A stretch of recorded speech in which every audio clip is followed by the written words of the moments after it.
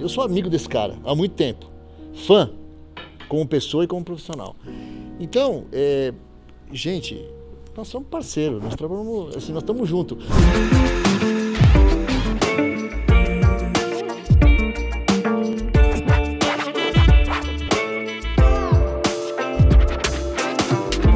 tive uma das graças da minha. Eu, talvez eu errei o momento da especialidade, que foi o do meu livro. E aí, quando a gente foi, decidiu lá para quem o livro ia, né, para usar como marketing, né? Vamos pegar as pessoas mais fortes. A gente, ah, o primeiro nome estava lá o Pita, então o editor ia doar um livro pro Pita. Eu tive o prazer de escrever para ele. Eu, e eu lembro que eu escrevi, né? da figura carismática que ele é, né? E, e, ele chega, ele joga a gente lá em cima, tal. Isso é uma coisa dele há muito. Eu tenho saudade, vocês não lembram, do Pita da, das antigas.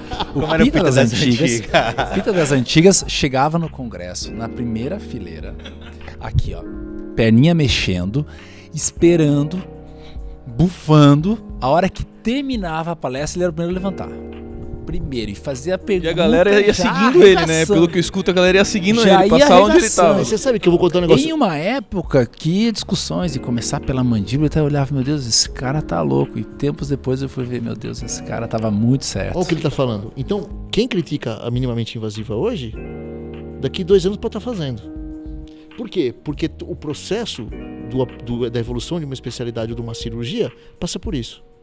Então, no momento, hoje, eu tenho algumas convicções que me fazem optar por uma outra técnica. Como ele falou, as minhas também dão errado. Não é? Não quer dizer que você faça uma técnica e essa técnica é infalível. Se fosse assim, não precisariam ter outras.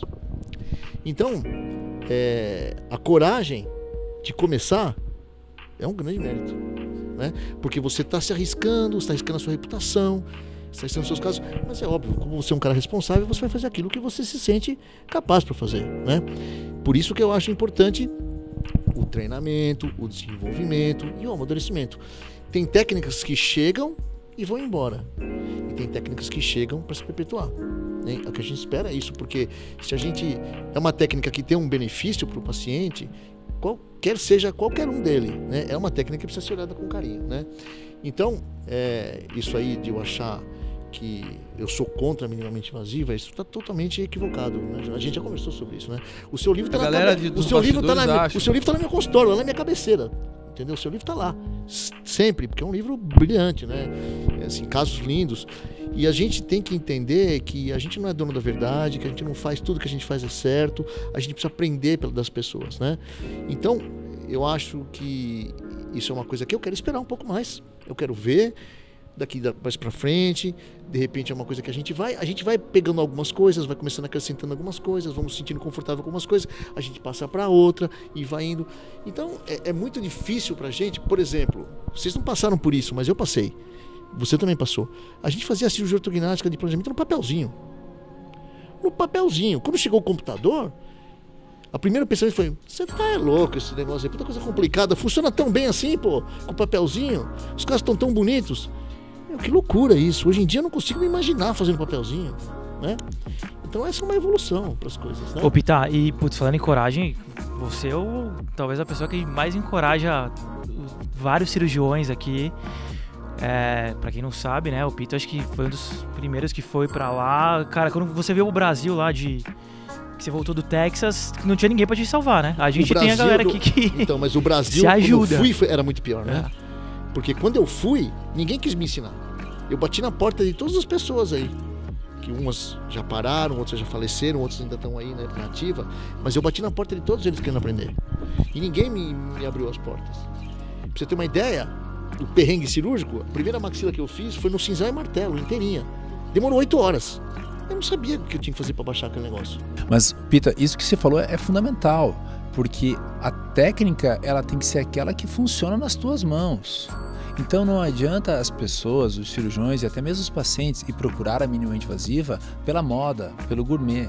Sempre o compromisso é com o resultado. E tem cirurgiões, eu vejo isso, infelizmente eu vejo isso como professor. Tem cirurgiões pressionados que eles têm que fazer, porque está tendo um movimento de pacientes procurando e às vezes o cirurgião não está preparado para fazer, para entender a técnica. Então, depois que ele domina, que ele tem, que a, a cirurgia está garantida, é o momento dele começar a pensar, se possível, né, em variações que tragam um benefício. Perfeito, perfeito. Porque assim, às vezes o, o, cirurgião fala, pô, eu preciso fazer porque o paciente está me pedindo. O cara não sabe nem fazer a, a, técnica olhando tudo, porque no começo você precisa ver bem para você fazer as coisas. E aí ele já parte para uma coisa sem ter muita experiência. Aí começa a complicação. E não é complicação na técnica, é má execução da técnica. Eu fiz questão de ficar, né? Já, já tô com o meu horário só pra gente falar isso. É, tem cirurgião, eu sei que tem cirurgiões que acompanham esse podcast e esperavam que a gente tinha uma rivalidade, né? E volta e meia, quando tinha essa expectativa, eu e você se conversavam por telefone toda vez. Nunca, isso nunca ficou. E essa, e essa parte boa da especialidade, é, a gente, eu, eu a gente vai manter. por você sempre. Eu quero cada vez você é o, um cara que é o presente da nossa especialidade eu torço pelo seu sucesso e sempre vou estar lá pra te aplaudir. Meu, a gente tá é, vivendo é, a história. A gente tá vivendo a história. A gente tá vivendo uma história. É, porque nós somos amigos, a gente torce um pelo outro, a gente se ajuda, a gente se conversa.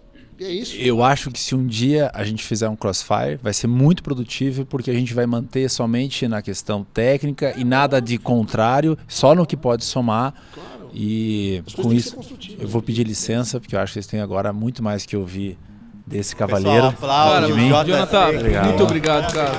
Valeu, cara. Obrigado pelo convite, tá? daqui 10 anos a gente faz de novo e eu espero que a gente consiga organizar isso aqui lá no Cobrar. Show de bola, boa, Estaremos lá. Vocês me dão licença então. Boa conversa aí com o Pito. Obrigado, Valeu, galera. Valeu, galera. Valeu, galera.